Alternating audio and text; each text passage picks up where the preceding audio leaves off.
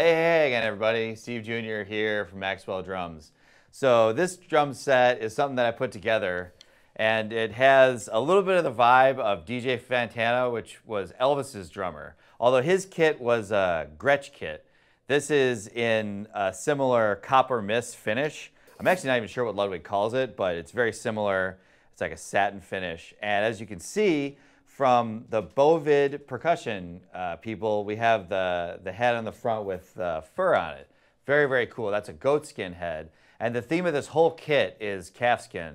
My friends, um, Hans and Mario from Austria, they uh, produced these wonderful calfskin heads, the Austrian drumhead company. And I have that, those on the toms, both sides, an 18 inch batter on the bass drum as well. They make uh, thin and a medium.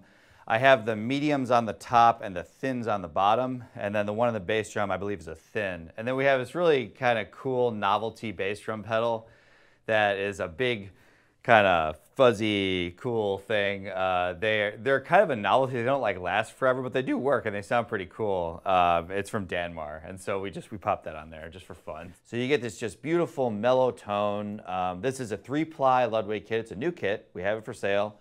Uh, maple, poplar, maple. And so this, this whole drum set just really has the most just subdued mellow tone. You could play this anywhere and it just wouldn't, get in the way. Uh, be perfect for like jazz combo gigs or, or the studio really. Uh, a studio like this one actually would be absolutely perfect for, you know, they do change with the weather, but I, I use them, uh, you know, in, in, under certain circumstances.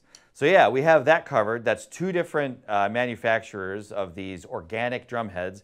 And then on the snare drum, which is a single ply Craviotto, has the Slingerland lugs, uh, you have Stern calfskin heads. And this is a poplar drum uh, with the Adrian Kirschler uh, brass hoops. So this is a really, really cool setup. I'm super psyched to be able to show it to you.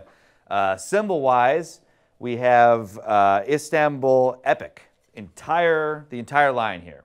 And I wanted to do this for so long, and finally we have just the whole, the whole set, which I'm really, really happy about too.